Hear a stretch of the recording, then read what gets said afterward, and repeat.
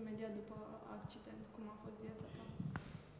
După accident, viața mea s-a schimbat foarte mult, în sensul că a trebuit să renunț la, la locul de muncă, pentru că sănătatea nu mi-a mai permis să prestez ceea ce am terminat. Am terminat facultatea de educație fizică și am lucrat ca profesor de sport și a trebuit să renunț un an și ceva de zile, să renunț să mai practic meseria asta, să lucrez în domeniu pentru că medicul nu mi-a mai dat voie, mi-a zis mergi, dar mergi pe riscul tău, pentru că risc să, să apară probleme la picior, pentru că ai tija respectivă în picior. În momentul de față pot să zic că am foarte multe dezavantaje pe chestia asta, pentru că toată lumea când mă duc să-mi fac o fișă medicală vede că am probleme și cu plămânii, că sunt operat și la plămâni și cu piciorul și îmi zice tu efort fizic nu prea poți să faci. Cum a fost recuperarea? Recuperarea a fost foarte grea, un an jumătate continuu mers în sala de sport și refăcut masă musculară pentru că am stat aproape trei luni de zile numai în pat, bazin foarte mult, plimbări. Și ce ți-a ajutat în tot timpul ăsta, în cele trei luni în care tu ai stat?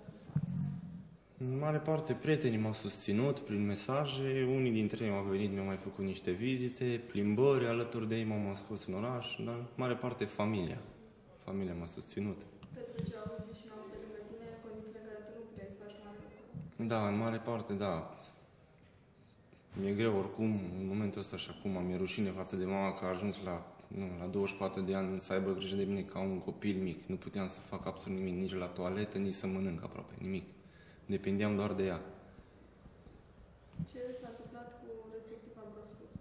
Știu că tu salvase, Da, era broscuța prietenului meu care era cu mine în spate, a Caius. Din păcate, de la două zile după ce am primit-o, am aflat că nu, nu mai trăise. Spune cu ce te ocupi tu acum, având în vedere că profesor de sport nu poți să mai fii din cauza problemelor de sănătate, ce faci acum? În momentul de față lucrez la o firmă de mobilă, restaurez mobilă veche. Pentru că în domeniu foarte greu să mai găsesc și încerc să mă axez pe, pe alte domenii unde caut și eu să-mi câștig traiul cât de cât să, am, să fie decent. Mai ții legătura cu familiile prietenilor? Încerc pe cât posibil, deși mi-e foarte greu, pentru că tot timpul când, când le întâlnesc, prima imagine pe care o am în cap sunt imagine din, de la accident și, și mi-e foarte greu să vorbesc cu ei. Cum este practic relația cu ei? Relația nu pot să zic că e una foarte caldă, dar nici foarte rece. În sensul că comunicăm pe, pe tema accidentului, că ne oferim informații la cum decurge în momentul de față procesul și chestii de genul ăsta și ne mai întrebăm uneori de cum suntem, care e starea noastră și cum e viața noastră în momentul ăsta. Mm, uneori mai am și acum, să zic așa, deși am fost și la psiholog și am avut o grămadă de consultații, încă toată lumea mi-a zis să scot ideea asta din cap. Încă mă consider oarecum vinovat, deși toată lumea îmi zice că nu ești vinovat, trebuie să te bucuri că ești omul care a supraviețuit și care poate să facă dreptate în toată chestia asta, să aducă să scoată la lumină adevărul. Pe de nu știu cum să zic că mă simt. Sunt, pe de parte, cum zice toată lumea, roagă-te la Dumnezeu pentru că ai scăpat și astea. Într-adevăr, merg și mă rog duminica ca orice om, mă duc duminica la biserică.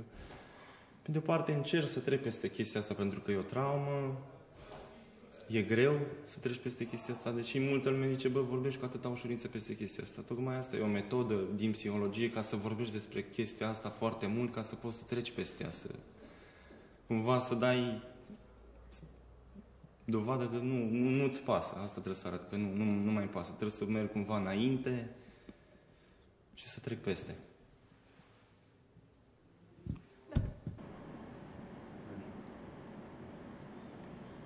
Noi suntem în urmă cu, cred că, patru ani, eram la un concurs de graffiti, după eram la o bere, eram eu, Caius, băiatul care a stat lângă în spate și fratele meu. Am imediat după concurs, savuram cu toți o bere.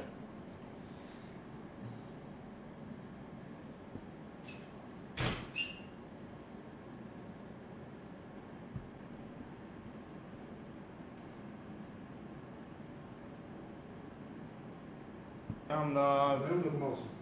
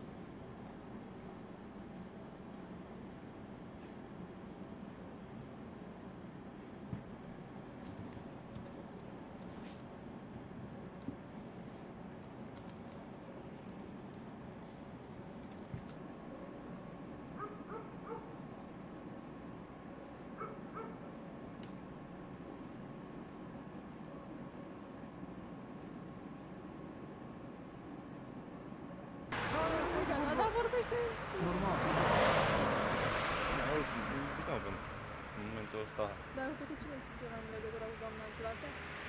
Da, mai mult cu ea, cu viață, știam mai bine. Doamna Zlată mai mai e greu. Cu fratele Romeo, Alin, foarte puțin, pentru că de el e cel mai așa, nu știu. Simt că el a pierdut pe cineva drag și nu știam cum să-l abordez, cum să-l iau și tot timpul mi-e greu. Mă duc și întreb, bă, ce mai faci? Nu știu ce în suflet.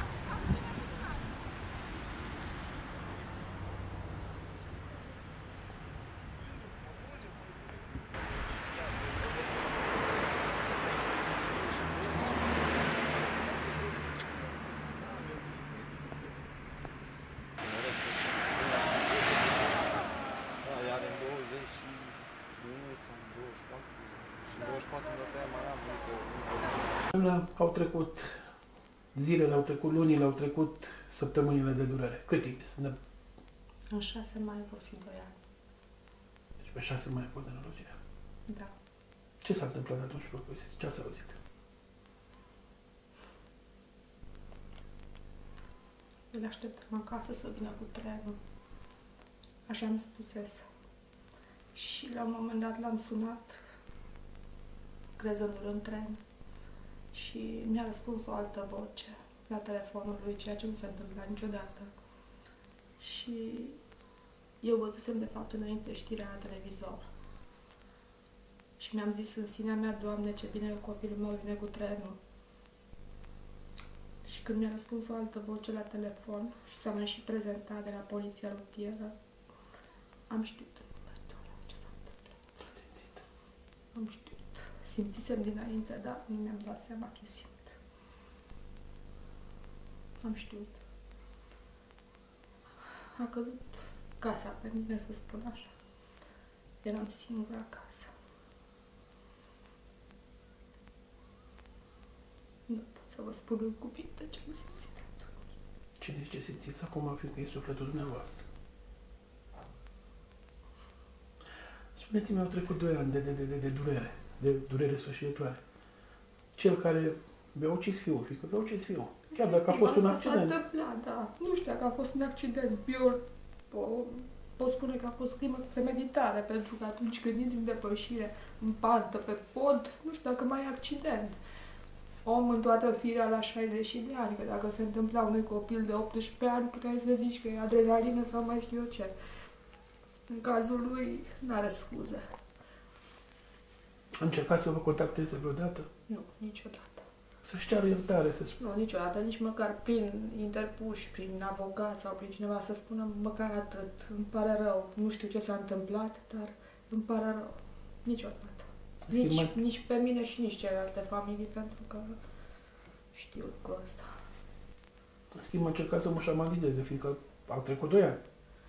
Da, au trecut aproape 2 ani și am înțeles că a tot cerut tot felul de expertize, căuta motive să tergiverseze totul și i-a și reușit până când s-a întâmplat uh, acel flagrant cu Mita la curtea de apel, de atunci au început lucrurile să miște pentru noi.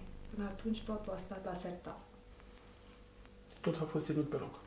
Asta a fost senzația noastră și, într-adevăr, nimic nu se mișcase, pentru că nu a apărut expertiza criminalistică, care era esențială. Puteți să-i spuneți unui asemenea individ om? Eu nu. Eu nu. nu pentru mine nu este om. Nu este om. Dacă era om, avea curajul, avea demnitatea să nu să apară în fața noastră, că probabil în momentele eram tot, toți prea supărați și prea nervoși și poate că uh, i-a fost frică de reacția noastră, dar dacă îmi dădea un telefon, nu cred că am face ceva prin telefon. Sau o scrisoare? Scrisoare, un telefon, deci era, era simplu pentru el dacă, dure, dacă dorea să ne abordeze în un fel, ori n-a încercat niciodată. Ne-a sfidat pur și simplu, cel puțin în prima parte, până s-a întâmplat ceea ce s-a întâmplat cu, cu Mita, uh, ne-a sfidat, pentru că el își vedea de Tot afacerile lui, pot să spun așa, de funcțiile lui. uh, Pentru el viața continua ca și când nimic nu s-a întâmplat. Dar există Dumnezeu. Da, și de acolo așteptăm dreptatea de fapt.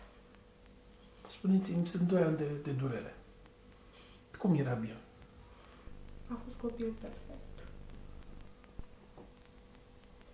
Și dacă întrebați pe oricine care, care l-a cunoscut, va spune același lucru. Mai un pic și împlinea câți ani? În 2, în 2 martie ar fi avut 22 de ani. Cu viața înainte. Da, și cu multe, multe vise. Care s-au oprit. Atunci. Mai aveți putere, doamnă? Cu medicamente, cu ajutor de la psiholog, cu ajutor de la Dumnezeu, nu decât să merg înainte. Vă ajută prietenii? Vin prietenii lui dumneavoastră? Sigur că da, și prietenii mei, și prietenii lui Biem, familia mi-a fost și mi este alături. Și fiecare încearcă în felul lui să mă ajute să depășesc, să depășesc, să fie un pic mai ușor. Că de depășit nu voi depăși niciodată ceea ce s-a întâmplat. Ce veți face mâine? Vine o zi ca oricare alta, de fapt nu e chiar ca oricare alta, e ziua de vineri. Când îl așteptam să vină acasă. După ce voi termina munca, mă duc la cimitir, ca în fiecare zi, aprind o lumânare și mă rog pentru sufletul copilului. Să vă dea Dumnezeu sănătate și putere, doamnă. Niște poze să ne arăți dacă vrei. Cu bier?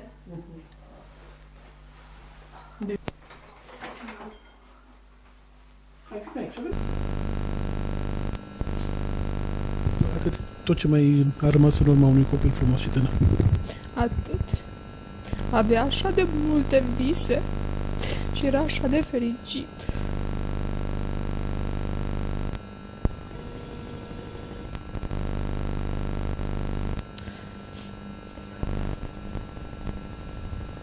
Avea mulți prieteni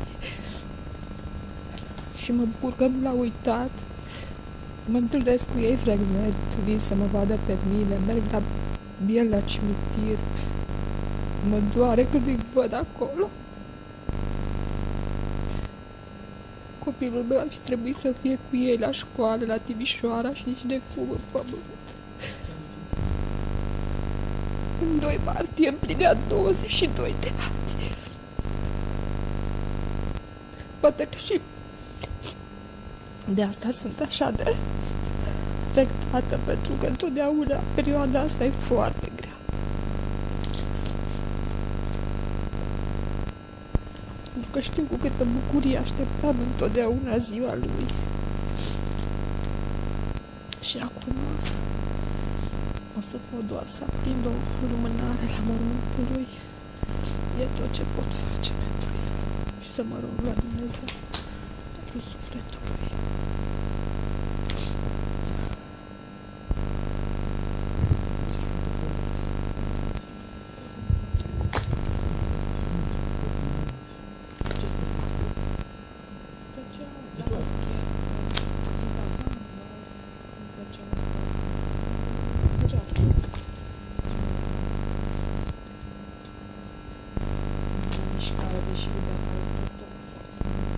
gente vai poder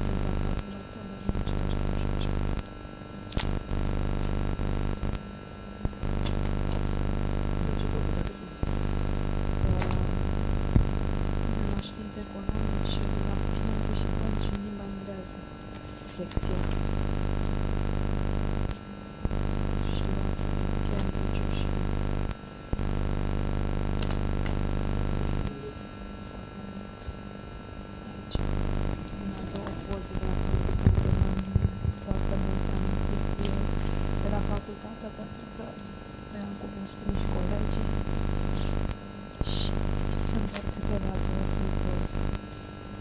Din studenții colegi.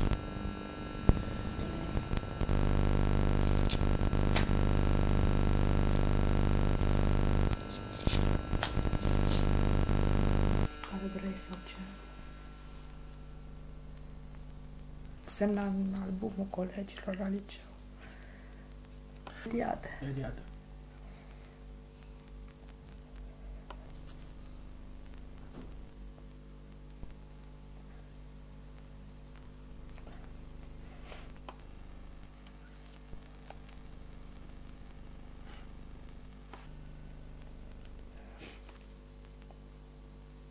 Ultima ieșire la Arbă Verde, ultimele poze. Asta? Asta aici a fost cu, înainte de Paște, a fost cu prietenii la Iarbă Verde la Crănic. Astea sunt ultimele fotografii.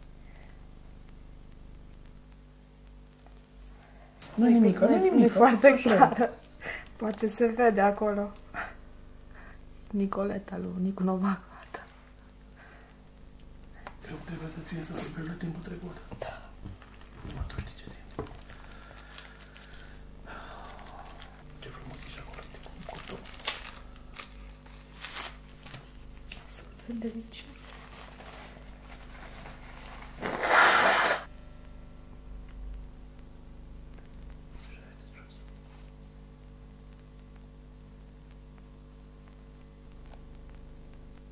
Fără Dumnezeu, li se pare că totul e a lor. Li se pare că au primit tot, li se convine tot, li se... Nu știu. Deci cu cât ajung unii mai sus, cu atât îți mai lumea. Calcă pe lumea în picioare, nu le pasă de nimic. Lucruri dovedite pe față. Uite cum a fost aici, că a fost pe...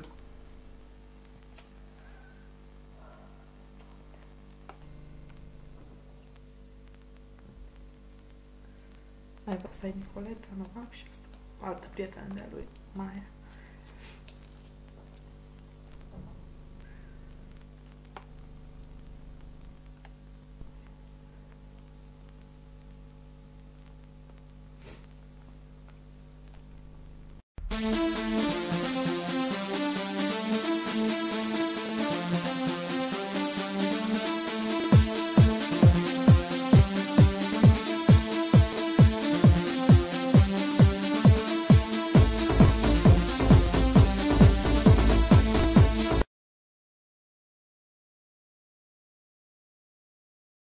S-a întâmplat, domnul Chișărău?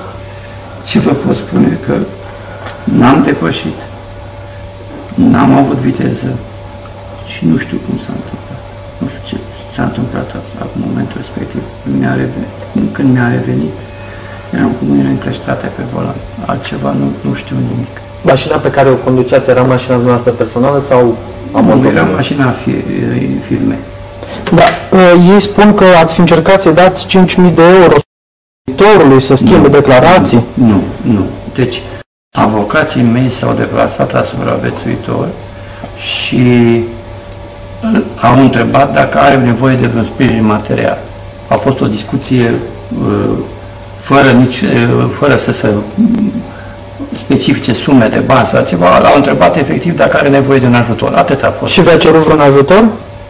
N-a spus nicio sumă, niciun fel de sumă, nu, bani, n-a- n-au spus, n-au stabilit niciun fel, n-au discutat concret nicio sumă. Urmă să discute în continuare despre dacă e nevoie de un ajutor pentru, pentru Da, dumneavoastră în momentul, înainte de a se întâmpla accidentul, erați în depășire pe pod? Nu. Ca așa s-a spus. Nu, nu am fost în depășire. N-am depășit nicio mașină de la Șebel, am venit în, în, în, în, fără să depășesc, pentru că uh, pe partea cealaltă era o coloană de mașini care venea spre Moravița, spre sensul spre Moravița. E, Drumul era foarte aglomerat. Pe partea aceea erau o oră și ora când ieșeau din Timișoara. Și familiile celor morți v-au căutat? V-au zis ceva? Nu, urmează ca avocații mei să se contracteze pentru a discuta cu ei și eu. Sunt, într- nu știu, sunt într-o stare extraordinară. Nu. La parchet uh, ați fost chemat? Ați dat Am ceva dat de... declarații, sigur. Uh, Vă acuză procurorii de ceva? Deocamdată sunt inculpat conform aia de deci, la parchet. Ați cerut vreo expertiză? Se va face expertiza, mai- deocamdată prima expertiză care se face, se face expertiza modului de desfășurare a accidentului. Da, dumneavoastră spuneți că nu sunteți vinovat de accident. Nu știu cum s-a pus. Nu știu cum s-a Mai există vreun martor care a văzut, care știe? Sunt uh, martorul din spate și băiatul care și-a revenit. Și martorii din spate ce, ce au zis? Nu știu. Deci, Cu băiatul care și-a revenit ați vorbit? Ce, ce au zice? scuzat avocații mei. Și ce le-a zis? Că n-am depășit. Că am schimbat brusc direcția de... n- n- N-am depășit, el zice că n-am depășit. Că în fața mea nu era nicio mașină. Da. Aveam ce E posibil să fiți avut un puseu, ceva de tensiune, o problemă de sănătate E cardiacă? posibil, E posibil. Sunteți cardiac cu istorie? Sunt în evidență luat din 2000. Sunt la doctorul Petrescu, eram în tratament. Hipertensie. Se mai vorbește că ați mai fi avut un accident similar în urmă cu 5 ani. E adevărat? Nu. Eu am fost în mașina în care s-a întâmplat accidentul, eram pe locul dreapta față. Când s-a întâmplat asta? Să vă spun exact anul când s-a De unde? S-a întâmplat înainte de răștie. Ne întorceam de la un curs de perfecționare de la Bușteni. Eu eram în, în spate, aveam doi colegi. Și șofer cine era? Uh, scapă numele. A decedat. A decedat șoferul. Dar șoferul e cel din spate. Deci eu eram în dreapta la, la nu eram la, nu, n-am, n-am condus. Eu am avut mai multe accidente în care am fost pasager, am fost în dreapta. Ca șofer n-ați avut niciun accident. Deci un accident cu fel de urmări de genul acesta. Deci, adică, probabil, cu nimic Componări, da, accidente, nu. care să fie... Nu, nu știu, vă sunt, îmi, îmi pare atât de rău, da. de spus de rău de ce s-a întâmplat. Nici nu, nu vă închipuiți că e o suferință pe care nu pot să o exprim. Nu pot să o exprim. Eu am speranța că justiția va găsi adevărul și va, va dovedi pentru mine, în primul rând, că vă spun, sunt într-o stare de... N-aș dori nimănui să se întâmple să pățească așa ceva. Pentru că sunt un om care nu consumă alcool. Nu, nu consumă alcool, n-am consumat. De fapt, și analizele mi-au spus pe loc. În, în porțiunea aia n-aș fi intrat în depășire niciodată.